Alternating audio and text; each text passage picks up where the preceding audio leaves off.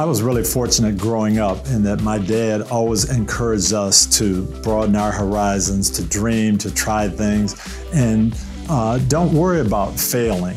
Uh, give things a try. And that helped me as a, a, young person, helped me grow. And so I've tried to do the same thing with our kids. Um, some kids you have are adventurous and they'll try anything and you may have to hold them back a little bit and say, hey, you need to be careful. But a lot of kids are afraid to step out of their comfort zone, afraid to do something that's not ordinary.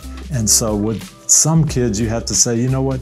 Try this. Don't worry about what people are going to think. Don't worry about the reaction. Don't worry if it doesn't go real well.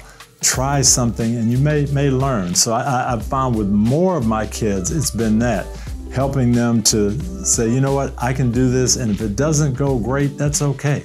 Uh, maybe I learned something. So I think that is the key most of the time, encouraging them to think outside the box, think outside their comfort zone, and not worry about the results. Don't be afraid to try new things.